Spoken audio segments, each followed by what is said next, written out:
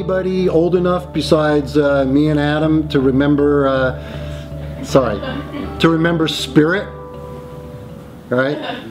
1960, you know, late 60s California rock band with um, Randy California, I think was the guitar player, and his father-in-law or stepfather, Cassidy, was the ball drummer. It was very, anyway, very hip band back then. So apparently, unbeknownst to me, and apparently most other people, they had a song in the late 60s, and they, by the way, they opened for Led Zeppelin. That's Taurus.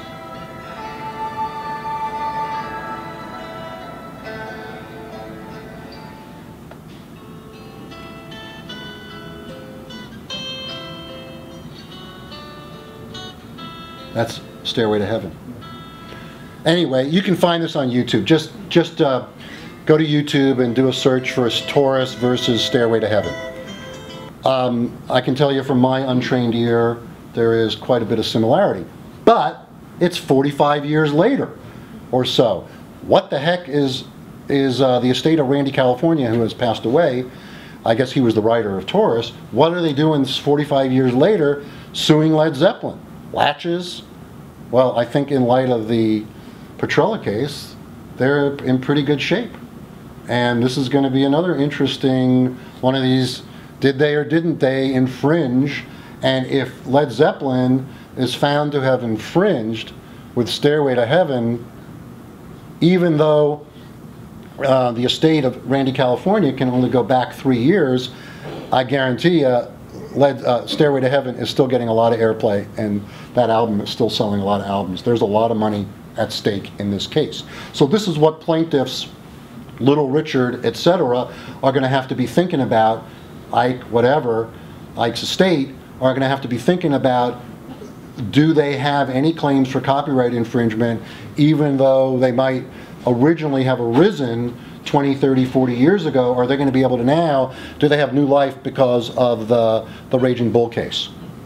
In the music arena, everybody familiar with last year's big hit, moving on a little bit, last year's big hit, Blurred Lines, Robin Thicke, and the controversy with Marvin Gaye's estate, Gotta Give It Up, Robin Thicke.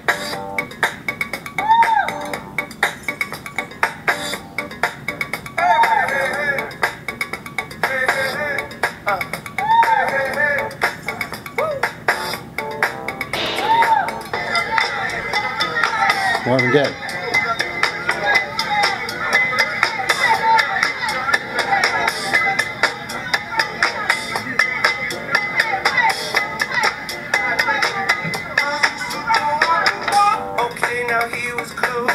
Close. Robin Thicke. But you're Well, somebody spliced them together. Somebody spliced them together for YouTube. You don't need no papers. That man is not your maker. And that's why Marvin Gaye. By the way, this is fair use.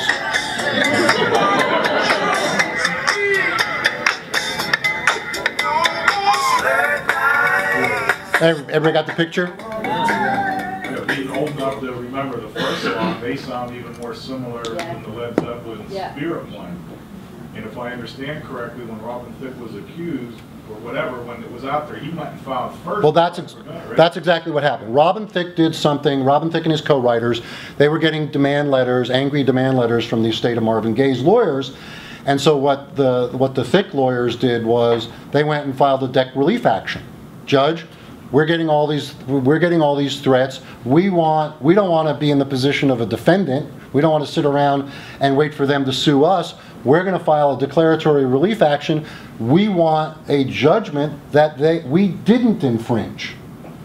That was filed a year ago, uh, and it was filed in August of last year. I just checked the docket today, so it's almost a year later, the case goes on. They're just starting discovery now, or at least now, the motions to compel further answers to whatever, interrogatories, requests for production of documents, etc. Those motions were just filed with the court uh, in LA this month. So it looks like this case is in for a long haul. And I think I read, I didn't have a chance to find it uh, in the docket today, but I think I read online in one of the so- sor- sources I found about the, the, the ongoing dispute that the Gaye estate filed a counterclaim for copyright infringement, which is natural. So uh, this thing is going to go on, and of course, once again, there's millions of dollars at stake. Now, how many how many uh, musicians do we have in the room who can read music? Okay, half dozen. You tell me. Okay, remember, okay, my operating theory is every blues shuffle sounds alike. Every three quarter time country and western song sounds alike. So in copyright infringement, it's not enough that the public thinks they sound alike. The test is substantial similarity. That's a very loose test. Um, now, but in music, the court is going to, I think, filter out the common elements that you can find in other songs. So if somebody sues, if, if songwriter A or recording artist A sues recording artist B or songwriter B for copying a blues shuffle, I think the court's going to filter out the blues shuffle, the beat, and the time signature, and the same thing with a country and western song. That's essentially a waltz, right, in three quarter time. Mm, The melody lines sound very different, according to Michael. I think this is going to be a battle of the musicologists. Yes, sir. My question is, I mean, Robin Thicke's pretty young. In these types of cases, do they have to prove that the artist that's getting accused of copying it had exposure to that mm. song? Well, they don't have to prove it, but if they, if the plaintiff can prove access, it increases of the likelihood of a finding of copyright infringement. If the plaintiff can show access, that's going to help quite a bit. And in this case, I think, Robin Thicke, by the way, I think, has been quoted as saying he was paying homage to Marvin Gaye. That's true. That's what he said. exactly. So I don't think access is going to be an issue. Now, where access was an issue, again, going back a few years, back in the early 60s, there was a girl group called the Chiffons, uh, a girl vocal group, female vocal group. He's so fine. Oh, yeah, gotta make him mine. Oh, yeah, sooner or later. Oh, yeah, okay. That's about 1962, 1963, very popular AM big hit on radio.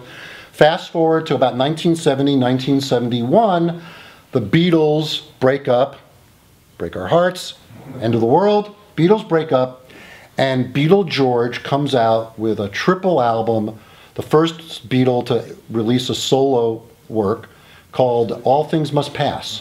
And the first hit off of that was a song called My Sweet Lord. Um, anybody, anybody can do a chorus from My Sweet Lord for us? No? Anyway, the words were completely different, but the melody was accused of being the same. Went through a lot of litigation, back and forth, back and forth, back and forth. And what the, the judge ultimately found was copyright infringement, substantial similarity, and even though, in the judge's opinion, Beatle George did not consciously attempt to infringe He's So Fine, he subconsciously infringed. Because in copyright law, there is, you're not required to have a finding of malicious or willful intent for there to be a, for a, to there to be a base copyright infringement. If you can prove maliciousness, if you can prove willfulness, you can get enhanced damages, but it's not a prerequisite to liability. So because, according to the judge, Beatle George was guilty of unconscious copying, it was copyright infringement. Now, I think to this day, if you lined up 100 copyright lawyers and 100 musicologists and asked them, does My Sweet Lord by George Harrison infringe He's So Fine by the Chiffons, I bet you'd get almost a 50-50 split. There, it's still a source of great debate. I recommend that you go home tonight and you, again, YouTube, look for My Sweet Lord versus He's So Fine or He's So Fine versus My Sweet Lord, and you'll find somebody who's mashed them together. I think it's worth talking for a moment uh, about the Aereo decision that came down this week. I haven't had a chance to read it yet. Has anybody read the decision? What's your name? Terry. Okay, So Terry's read the Supreme Court decision. Another one I recommend, you can, if you Google Aereo, A-E-R-E-O, Supreme Court, I'm sure you'll find the opinion. Uh, Basically, Aereo started by uh, a consortium headed by Barry Diller, who's been a television and film mogul for 20, 30, 40 years. Aereo um, sells or rents, I'm not sure which, little tiny antennas to their customers. I think they said the size of a dime. That's like more like a quarter or a half dollar, but a small antenna that allows the customer to pick up over-the-air broadcasting signals. And Aereo does not pay re- retransmission fees to the broadcast networks. The broadcast networks went bananas, as you might imagine. They sue Aereo and um, uh, claiming copyright infringement for failure to pay the retransmission fees. Aereo had a lot of very clever defenses. Uh, goes up to the U.S. Supreme Court, and the Supreme Court ruled this week, sorry, copyright infringement. Now, what happens when the U.S. Supreme Court says you're guilty of copyright infringement? Does that mean your business shuts down the next day? Or does Barry Diller and his crew, do they negotiate a deal with ABC, NBC, and bring them in as partners? I think the jury is still out on what's going to happen, but I won't be surprised if they end up in business together because that's what makes the most sense. Because guess what? Aereo has figured out something that the public wants. Sure. And if the public wants it, they're going to get it. And somebody's going to give it to them, and sooner or later, the law better figure it out. Terry, what's your take on the Supreme Court decision? I'm curious. My take is that it's a poorly written mess. Um, it, it's not a good sign when they start off the opinion with, well, we don't really understand the technology. Oh, right, Um, right, right. and when, you know, a lot of it is based on the reasoning in Cablevision, they don't mention Cablevision until 28 pages in until Scalia's dissent, and very briefly. So they really redefined a lot of things that didn't need to be redefined, and So it sounds like maybe it was a results-oriented decision. Yes. They just didn't like what Aereo was doing and then figured out how to back into it. And they're the Supremes, so they get to do that. Yeah, and they tried. They really, uh, they really tried to narrow it at the end, and basically their reasoning for, oh, this won't affect cloud computing because we say this should. That's right. Cloud That's right. That was one of Aereo's big defenses was, if you find against us court, you're gonna be putting an end to all this other technology, cloud computing, et cetera. Yeah. And the court said, you know what? This decision is limited to these facts, so don't worry about that. But that just means there's another case coming, oh. right? But what does this say, how many law students do we have in the room? Okay, we got a few law students. Any lawyers been practicing less than five years? All right, so, we- and we have a bunch of lawyers practicing less than five years. You guys are at the cutting edge of what I think is the next 10, 20, 30 years of fascinating legal decisions and business cases that are going to be brought. I think we are in, legally, we are in what amounts to the black and white six-inch TV stage of technology in the law. I'm jealous of you guys who are just starting out. I wish I had another 20 or 30 years to go because what's going to happen in the next 20 or 30 years is going to be mind-boggling. My prediction, Google is going to cut a deal with the United States government and every child at birth will get a Google chip in their right earlobe. You heard it here first. Uh, Recently, there's a lot of talk about patent troll and podcasting. Right. And what's, I think there's uh, something that didn't happen recently, I forget. There's, there, there's been some legislation, the, the question was, what about patent trolls as opposed to copyright trolls?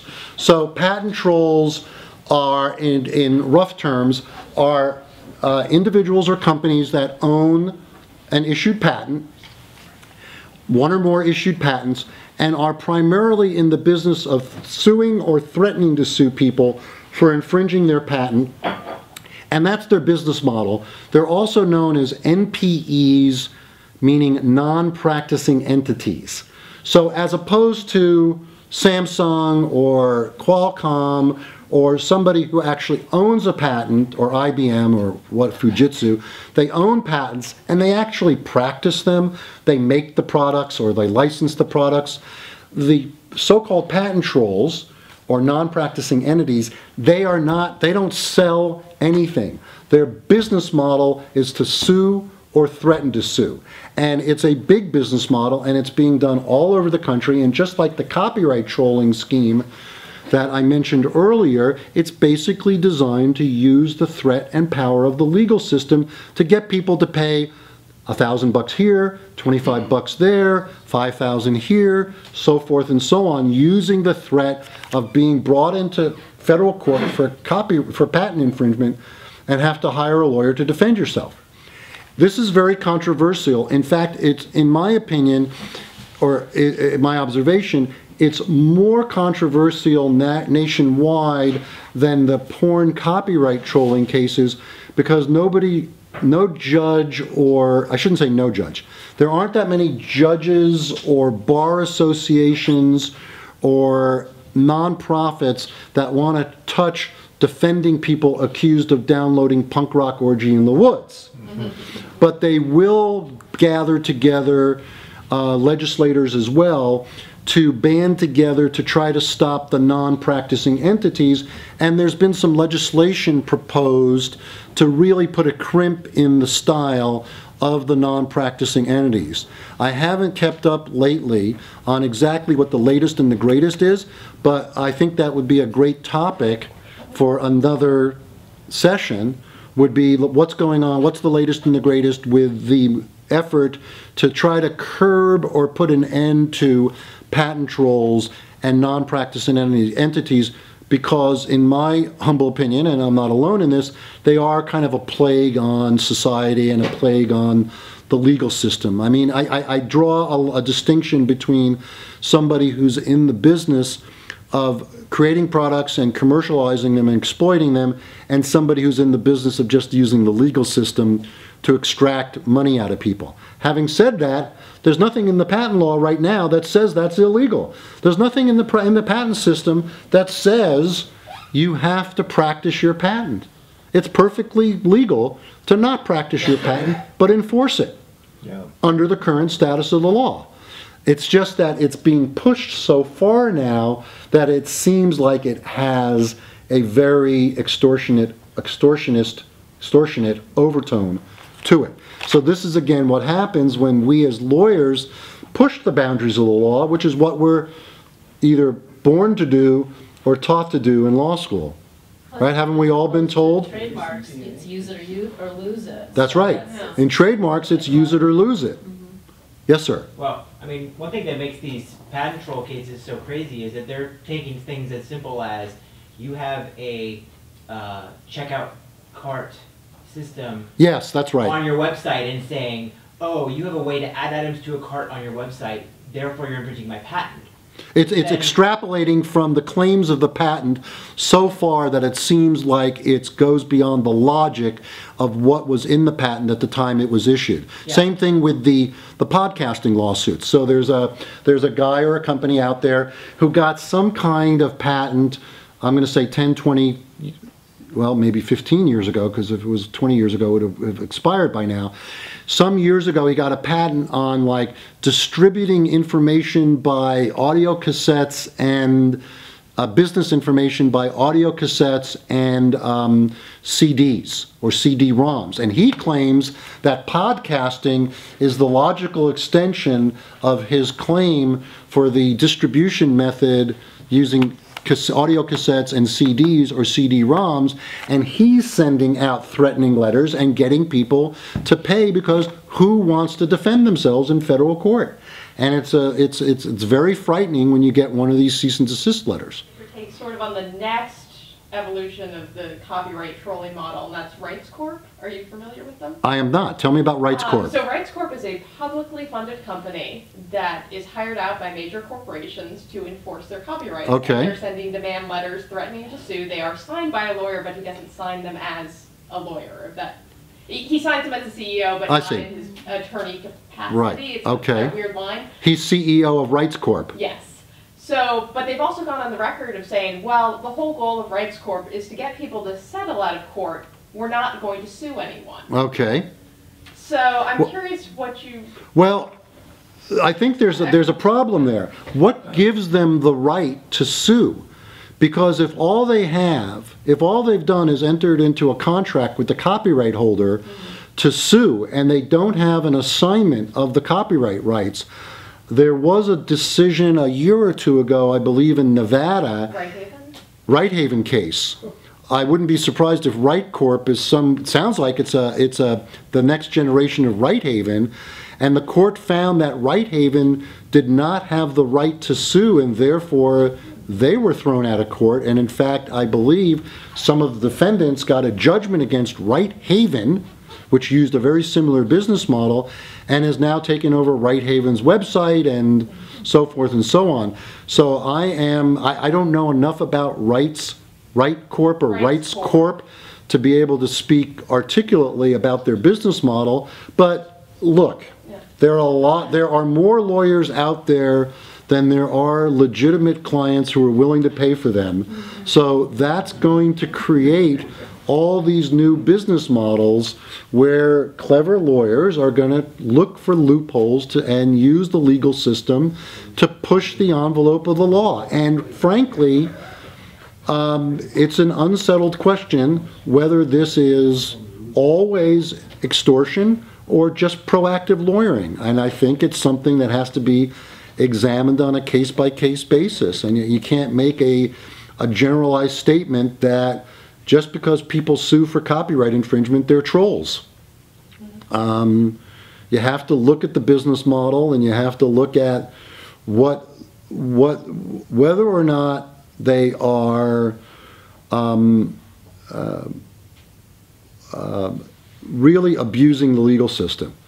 You know, one of my complaints in the old porn trolling cases where the plaintiff would file a lawsuit against 10, 20, 100, 500, 1,000 troll, a, a, a 1,000 targets at the same time, and pay only one $350 filing fee, that to me just, just rang out as an abuse of the legal system. Because if they had to pay $350 for each defendant, they wouldn't use this business model. The fact that they could get into court and get all these subpoenas and start sending out thousands and thousands and thousands of letters and start getting people to go to their website every day and cha-ching, $3,500, $3,500, $3,500, that to me, it was clearly a case of misusing the legal system. Now, the new plaintiffs who are filing the cases one at a time and paying 350 bucks a, a, a crack, that to me seems a little more fair. They're at least paying some part of the freight.